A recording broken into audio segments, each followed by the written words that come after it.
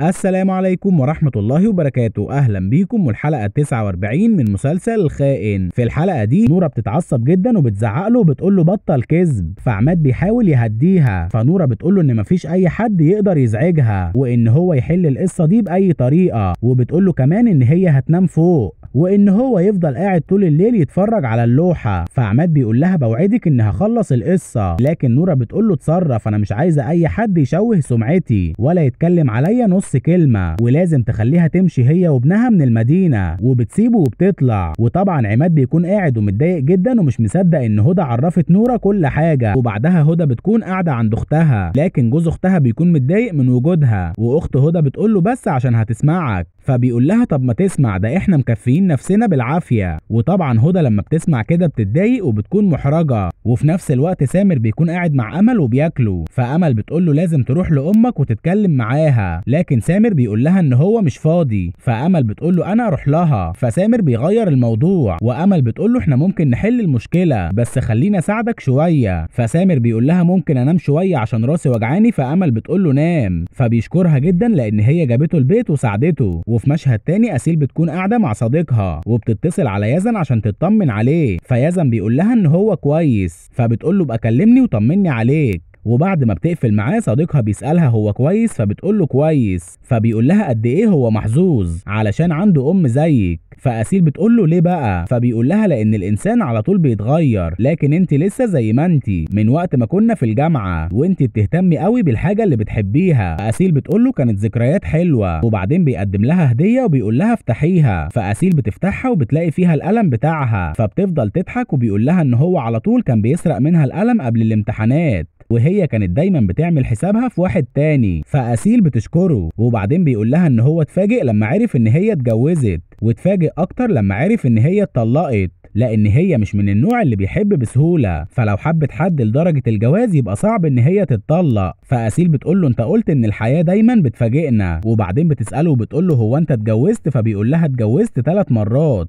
والموضوع جه ورا بعضه لما سافرت وكنت بدرس تصوير. واتجوزت الأولى وبعدين طلقتها والتانية وهكذا. فبتقول له عندك أولاد؟ فبيقول لها لأ. لأن هو أصلا مش عايز لازم الأول يعمل حياة مستقرة ويكون هو حابب يبقى أب علشان الولد يعيش مبسوط. فأسيل بتقول له عندك حق وفي نفس الوقت سيف بيكون مع تيا على العشاء وبيبعت رسالة ليزن وبيقول له انبسط بوقتك. فتيا بتسأله عامل إيه؟ فبيقول لها كويس. فبتقول له مش قلت لك ان أنتوا هتتصالحوا وهتبقوا كويسين مع بعض؟ وبعدين بتتكلم معاه عن البدلة اللي هي اشترتها له وبتقول له قد إيه لايقة عليك. فسيف بيشكرها وبيقول لها ان دايما ذوقها حلو. وفي الوقت ده سيف بيشوف واحدة شبه أسيل وبتكون قاعدة في المطعم مع واحد. وسيف بيشوفها من ظهرها وبيفتكرها أسيل. وتيا بتفضل تتكلم لكن سيف ما بيكونش مركز. وبعدين بيستأذن من تيا وبيروح الحمام وبيطلع التليفون وبيفضل يفكر. وبعدين صديق أسيل بيطلب منها إن هي تغير جو وتسافر معاه. فأسيل بتقول له أنت أسلوبك حلو في الإقناع لكن أنا عندي شغل. وفي الوقت ده بيجي لها تليفون من سيف لكن أسيل ما بتردش. وصديقها بيقول لها إن هم على طول عندهم شغل وإن كمان ابنها يزن في المخيم ومش هينشغل بالها عليه وإن الحياة كتير قاسية وهي لازم تستغلها. فأسيل بتقول له نروح في وقت تاني لكن هو بيقول لها بكرة. وسيف بيتصل عليها تاني فاسيل بتقول له إن هي لازم ترد ضروري وبترد على سيف وبتقول له أنت عايز إيه؟ فسيف بيقول لها أنت ليه مش بتردي عليا؟ افرضي إن أنا عايزك في حاجة مهمة. فاسيل بتقول له في إيه؟ فسيف بيقول لها إن هو كلم يزن وعرف إن هو كويس. فقال لما يطمنها. طبعا اسيل لما بتسمع كده بتضحك وبتقول له عارفة. وبعدين بتيجي تقفل فسيف بيقول لها أنت في المطعم؟ فبتقول له أيوه. فبيقول لها مش المفروض تروحي بدري عشان عندك شغل الصبح. وأنا عارف إن أنت واحدة ملتزمة. وما ينفعش تأخري عن شغلك. فأسيل بتقول له أنا مضطره أقفل وبتقفل معاه وبعدين بتقول لصديقها نروح فبيقول لها لما تخلصي أكل لكن أسيل بتقول له مش قصدي إن إحنا نروح من هنا أنا قصدي إن أنا موافقة نسافر مع بعض. وبعدين بتمسك التليفون وبتقول له إن هي هتبعت رسالة للمستشفى علشان لازم تعرفهم. وبعدها سيف بيرجع عند تيا فبتقول له إن هي طلبت الحلو وجابت الحاجة اللي هو بيحبها. فسيف بياكل لكن تفكيره كله بيكون مع أسيل. وفي مشهد تاني نادين بتطلع وبترمي الزبالة. وبتبص وبتشوف صديق أسيل واقف وبعدين أسيل بتخرج. فنادين بتروح عندهم وبتقول لهم صباح الخير وأسيل بتعرفها على صديقها وبتقول لها إن هو رفيقها من أيام الجامعة. فبيسلم عليها وبيقول لها إن لون شعرها حلو وإن أكيد في ناس كتير قالوا لها كده لأن الإنسان الحلو لازم يتقال له الكلام ده في وشه. فنادين بتشكره وبتقول عليه لطيف وبعدين بتسألهم رايحين فين. فأسيل بتقول لها إن هي هتستغل غياب يزن وبيطلب من نادين إن هي تخلي بالها من الموتور. فنادين بتقول لهم انبسطوا بتسيبهم وبترجع على البيت.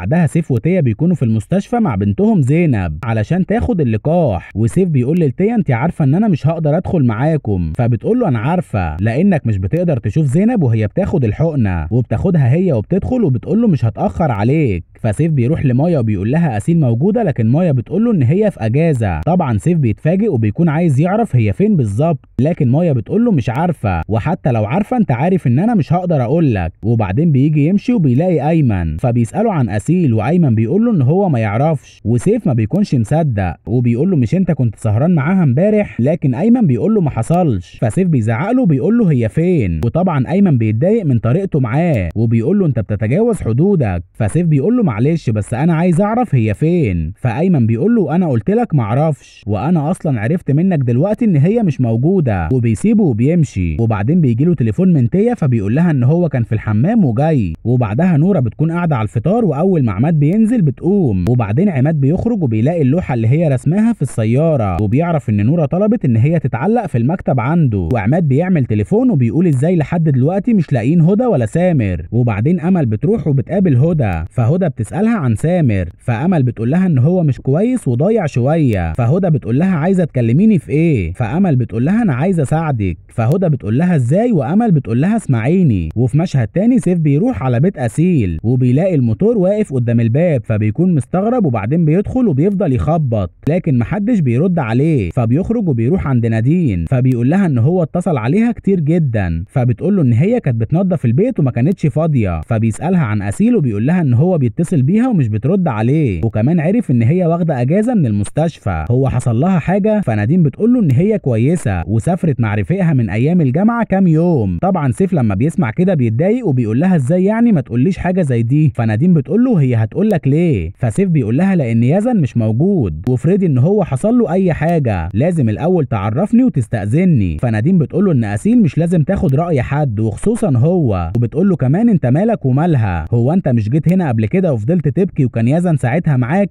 انت عايز إيه منها؟ دلوقتي هي ويزن أمورهم تمام ومبسوطين. وبتطلب منه إن هو يروح لعيلته ويهتم بيهم وبحياته ويبطل تدخلات وما يجيش هنا مرة تانية وبتقفل الباب في وشه. طبعا سيف بيتضايق من كلام نادين. وفي نفس الوقت أسيل بتكون مع صديقها وشكلها مبسوط جدا. وكمان تيا بتحاول تقرب من سيف لكن سيف بيقول لها إن هو تعبان شوية. فتيا بتتضايق من رد فعله. وبعدها تيا بتكون قاعدة في البيت وبتتصل على سيف. لكن سيف ما بيردش وبيبعت رسالة وبيقول لها إن هو مشغول جدا فبتكون مستغربة جدا من تصرفاته. وسيف في الوقت ده بيكون عند بيت أسيل لكن بيلاقيها لسه ما رجعتش وبيكون شكله حزين جدا. وتيا بتكون قاعدة في البيت وبتبص على صورتها مع سيف وبتفتكر كلام أسيل معاها. لما قالت لها في الوقت اللي كان بيخوني فيه معاكي كان بيخونك برضه معايا. وبتفتكر كمان لما قالت لها في الوقت والمكان اللي أنا بحدده سيف بيجيلي. وبعدين بتمسك التليفون وبتدخل على الإنستجرام بتاعها فبتلاقي صورة وبتعرف منها إن أسيل مش موجودة هنا فبتفرح جدا وبتتأكد إن سيف مش عند أسيل. وفي مشهد تاني سيف بيكلم يزن وبيطمن عليه وبعدين بيسأله عن أسيل وبيقول له إن هو عايزها في موضوع مهم. فيزن بيقول له إن هي بعتت له اسم وصورة الفندق اللي هي فيه. فسيف بيطلب منه إن هو يبعت له الصورة. وبعدين تيا بتنزل من فوق وبتقول له كنت بتكلم يزن فبيقول لها أيوه كنت بطمن عليه. وبعدين بتقول له يلا عشان نفطر. لكن سيف بيقول لها إن هو عنده شغل مهم ولازم يمشي. فبتطلب منه إن هو ما يتأخرش بالليل لأن هي هتعمل له العشاء بإيديها وبعدها سيف بيكون في السيارة وبيتصل على ريم وبيقول لها إن هو مش هيجي على المكتب النهارده علشان عنده شغل مهم وبيعرفها المكان اللي هيكون فيه وبيطلب منها إن هي تأجل كل الاجتماعات وبعدها سيف بيوصل على الفندق اللي أسيل فيه وبيلاقيها قاعدة مع صديقها فبيروح عندها وبيقول لها بتعملي إيه هنا مع الشخص ده؟ فأسيل بتستغرب وبتقول له أنت اللي بتعمل إيه هنا؟ لكن سيف بيكون متعصب جدا وبيقول لها أنا بسألك سؤال وبقول لك بتعملي إيه هنا؟ أظن إن السؤال ده بسيط. فأسيل بتقول له أنت أصلا مين عشان تسألني سؤال زي ده؟ فبيقول لها أنت أم ابني هو أنت مش مكسوفة من اللي أنت بتعمليه؟ فأسيل بتتضايق وبتقول له خلي بالك من كلامك أنت بجد بتزعل. فسيف بيقول لها إن هو هياخد منها يزن لأن هي واحدة من غير أخلاق.